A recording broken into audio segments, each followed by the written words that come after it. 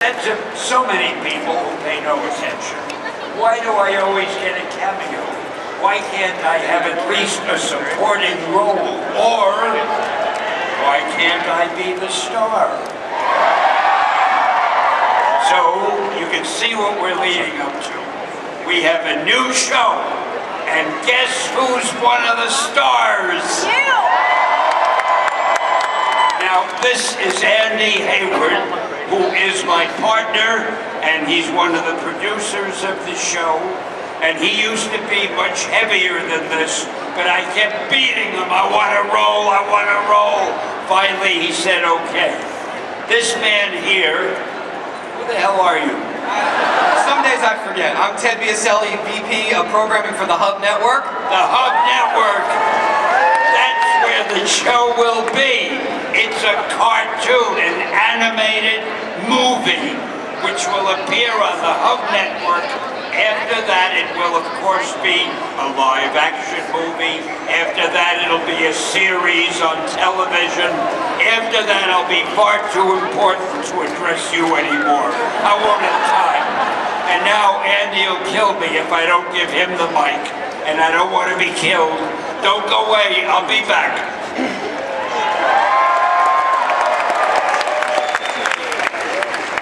Ted, do you want to start things off? How do you follow that? Jeez. Um, so like I said, I'm Ted, B Ted Biaselli, VP of Programming for the Hub.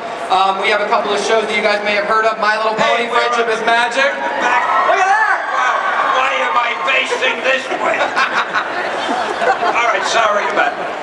Uh, we have shows like the Emmy Award-winning R.L. Stine's The Haunting Hour. We have the Aquabat Super Show, and and as if our network couldn't get any cooler, we have the world premiere of the first animated movie starring Stan Lee himself. We didn't tell them the title. Do we need, do we need to tell them the title?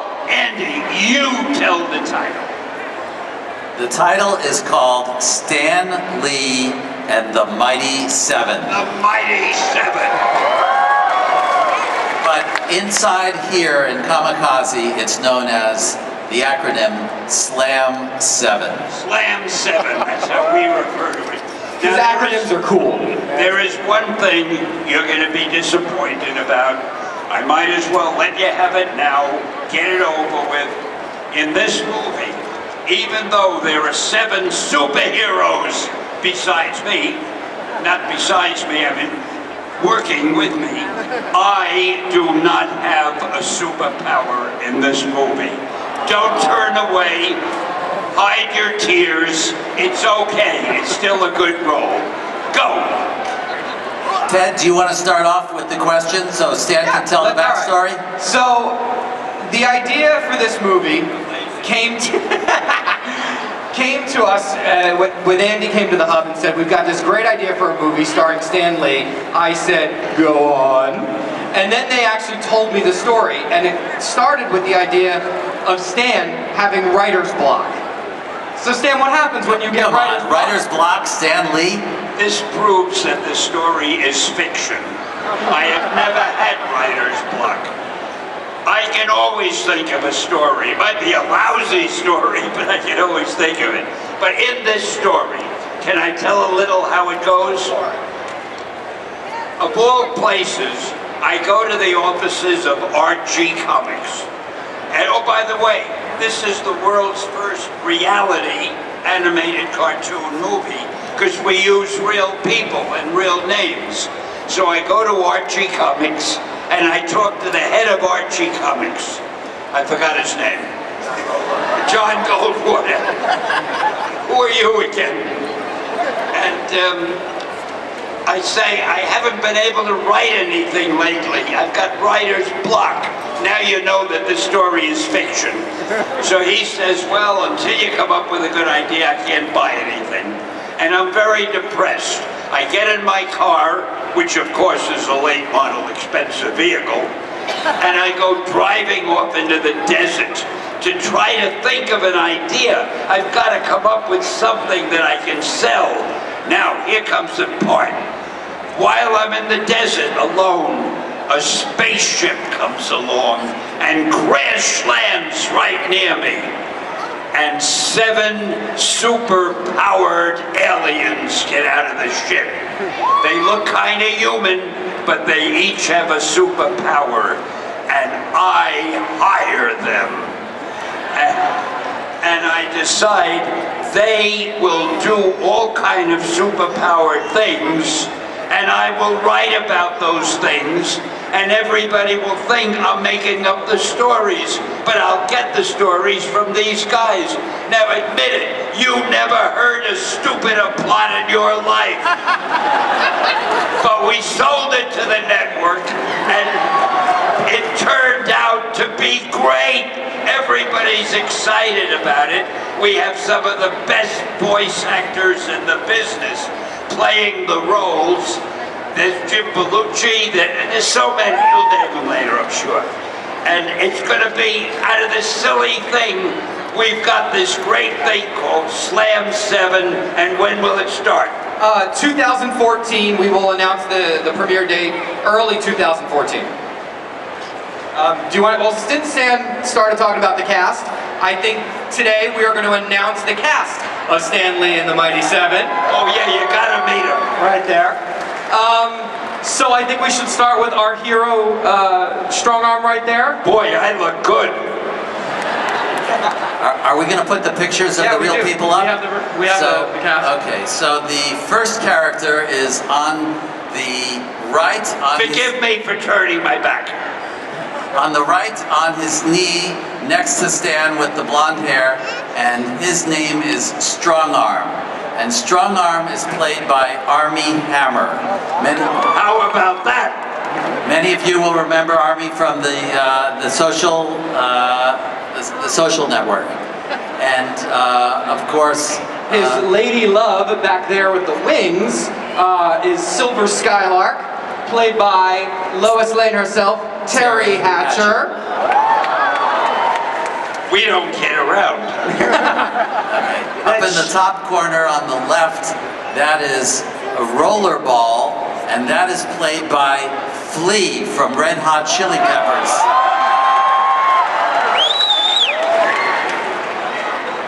Uh, above Strong Arm is uh, Laser Laser Lord. Lord, and Laser Lord is played by Christian Slater.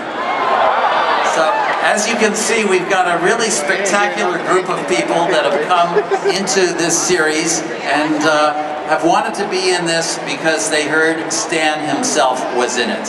And paying so much to these actors, there's nothing left for me. I practically wrote the thing free. Uh, We'll talk later. Okay, up on up on the top right-hand corner in the sky is Skylark, and Skylark is played by That's Teri Hatcher. Oh, I'm sorry. That is, uh, excuse me. Skylark is uh, blah blah blah blah. I'm having a mental block. I'm thinking of That's- my You're very good Lady. Lady Lightning. Lady Lightning. Excuse Lady me. Lightning in the red and yellow. Played by Mayim Bialik. And then uh, at the bottom, uh, uh, bottom left is Kid Kinergy, who is played by Darren Criss. Kid Kinergy is Darren Criss. And Micron, his brother, which is on Stan's shoulder, is Sean Astin. So we've got a cast of nerd cred, yeah? so And what- I play me.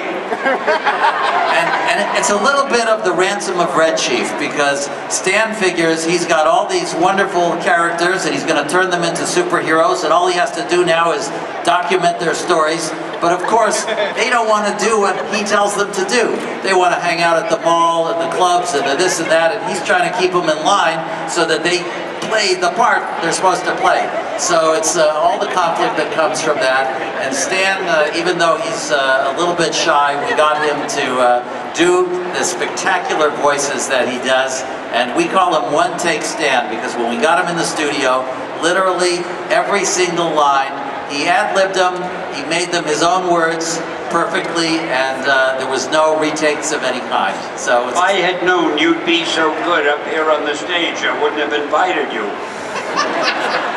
son of a gun, you're better than me. I don't like, I'll talk to you. When I when I was a kid, when I was a kid, and I would hear you know Spider-Man and his amazing friends every morning, you would hear greeting superheroes." You would hear that in your head, and to actually have an entire movie where he narrates and throws in these one-liners, it's hilarious. It's so mind much narrates, I acted it also. And he acts, and he's funny.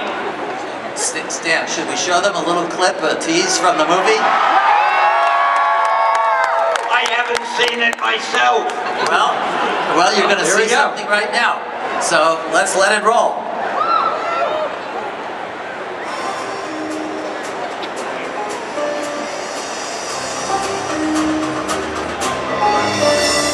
That's me.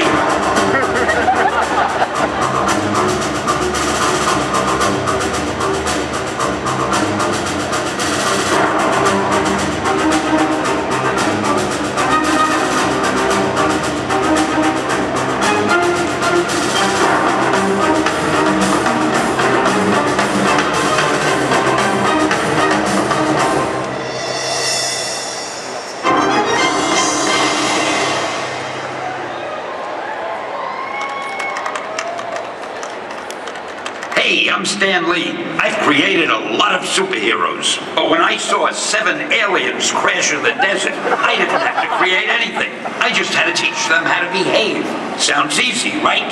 Wrong.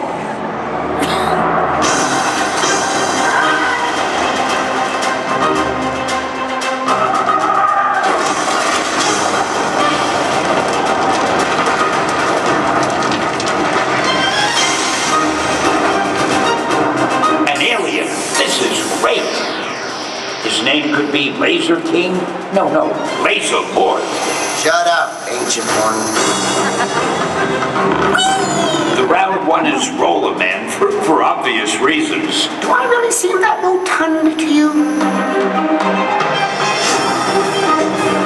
She's like a, a, a silver skylark. Sorry, but you've become a nuisance. Earth? I've heard this place is a primitive dung heap. She would be Lady Lightning. Wow, you are one fast woman.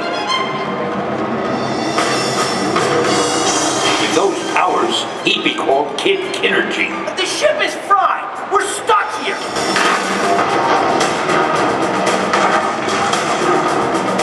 And that guy, I'll call Strong Arm. Stay where you are. Who are you? Doesn't matter. I know who you are. I'll call you Micro.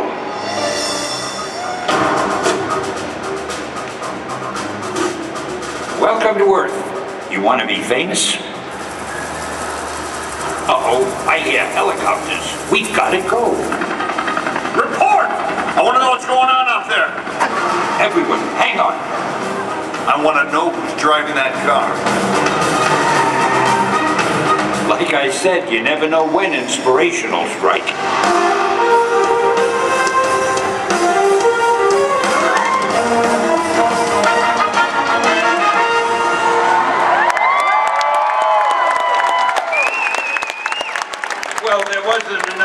Me in that, but other than that, it was pretty good. Do we want to share anything else at this point? Do we want to share anything else? Do you want to take some questions? What if they're difficult questions? Well, you can answer them if they're tough. All right, if anybody, although I don't know what questions you can have, you've seen it all. We've revealed everything. There's no more mystery left.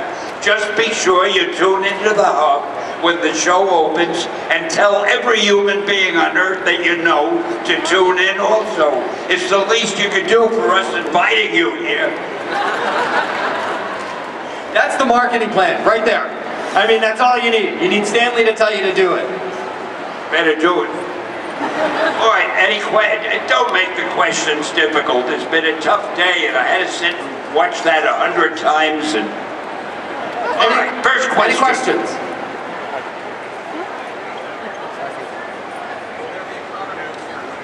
Of course, you silly person. Absolutely.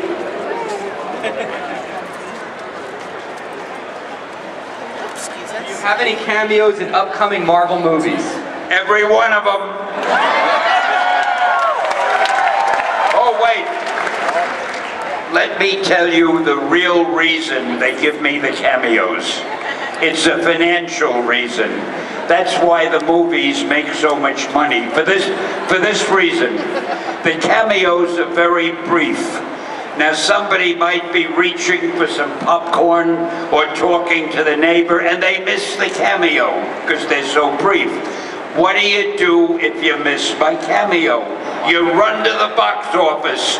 You buy another ticket because you don't want to miss it. That's why every movie would only have made half as much money if not for my cameo. That's a little secret that nobody knows. Right there. It's gonna be a movie. Actually, it's gonna be three movies. It's a trilogy of three movies that will all appear on the hub. Correct. Will there be Stan Lee action figures? There are Yes. now, but there'll be more. I'm sorry, go ahead, I interrupted you. You were about to speak. The answer was a simple yes. Anyone else? Uh, there's actually two villains in the movie. One you saw, Mr. Cross, played by Jim Belushi. The other, that is not revealed yet, will be played by Michael Ironside. A super villain.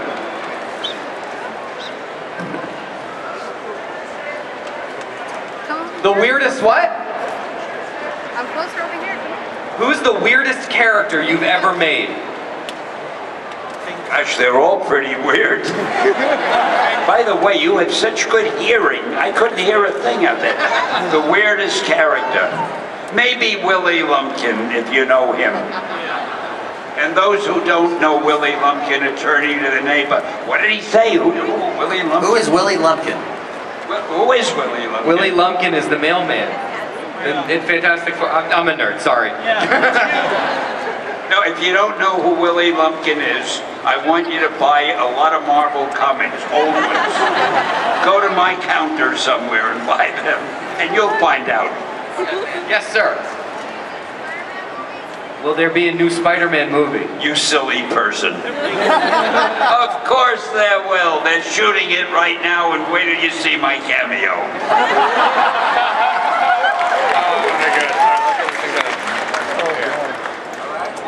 That's it. We're just getting started. Okay, we'll take a couple more. How about this gentleman here? What's your favorite cameo? The one that I'm going to do in Stan Lee's Mighty Set. Oh no, that's not a cameo. The Mighty Seven. and my favorite. You know, I, to be serious, I think my favorite one was in one of the Spider-Man movies when I say to Peter Parker, "See, one man can make a difference," because that was dramatic. And you see, here are three men who are making a difference. We're trying to con you into seeing the Mighty Seven. But you're going to do it for us, and you're going to do it because you know you're going to enjoy it.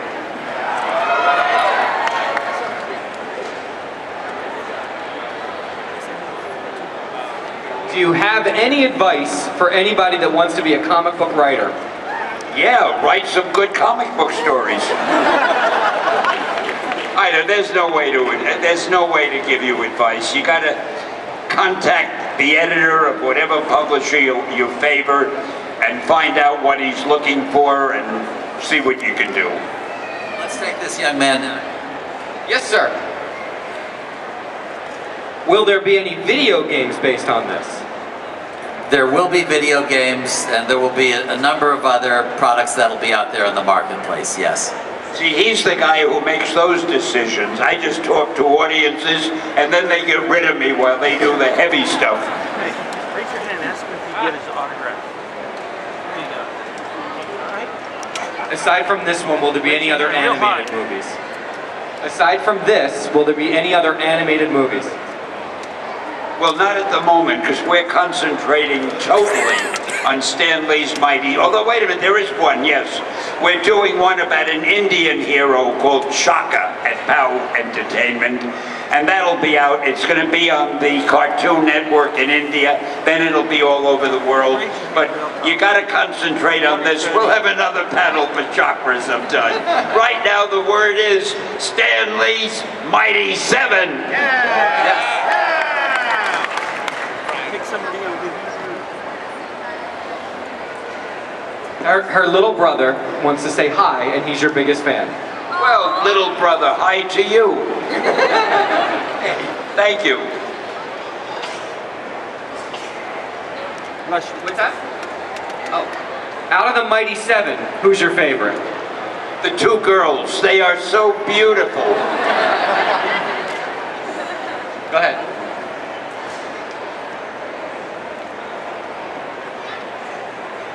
Oh, any more cameos on The Big Bang Theory? No, but I want every one of you to write a letter to the producer. But I do have another one in The Simpsons. In Watch The Simpsons in January, and you'll see me again steal the show.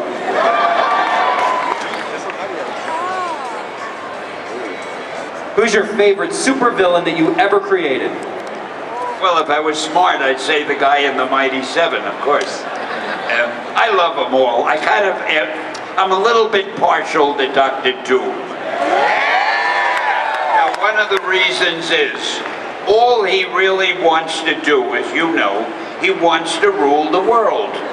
Now, let me ask you, you can walk up to any policeman in any city and you can say, excuse me, officer, I'd like to rule the world. He can't arrest you, it's not a crime. So Dr. Doom is not really a criminal.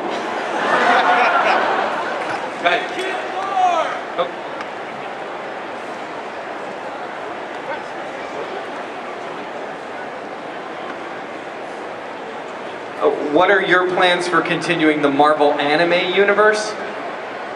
Uh, I plan to keep doing it as long as they'll give me bits to act in. But wait a minute, I got a question. Make sure with all these questions that they haven't forgotten. Ask them if they remember the name of the show. What's the name of this movie? Did every one of them get it right? A couple people got it wrong, but All right. I, I took their names. Go ahead. Would you take a picture with her? Are you doing photo signings anywhere? I think I just did. I'm sure I'm going to Oh, do some more. I, I don't know what the schedule Something is, but your if you ask No. around, yeah, I'll be doing photos and I'll be doing signing and I'm just a plaything for the people here.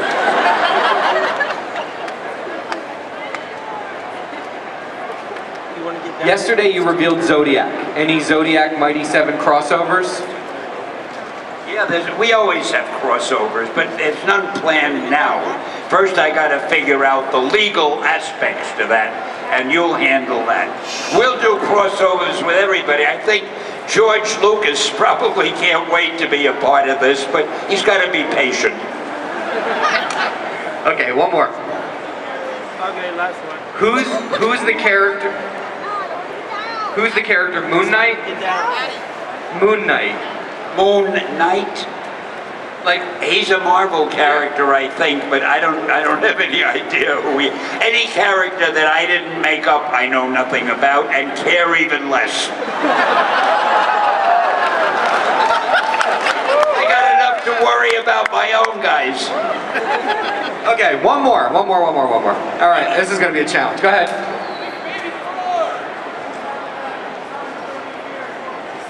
What about Wolverine? If you could travel, that's a good question to end with. If you could travel back in time 30 years, what would you tell yourself, Stan? What would I what? What would you tell yourself? I tell myself I, I wish it was 30 years later so I could be talking to all you people about Stan Lee's Mighty Seven, which will be on the Hub Network, and if you miss it, you'll have to answer to me. Hey, thank you. And Stan by the Lee. In case I forgot to tell you, Excelsior! Thank you all.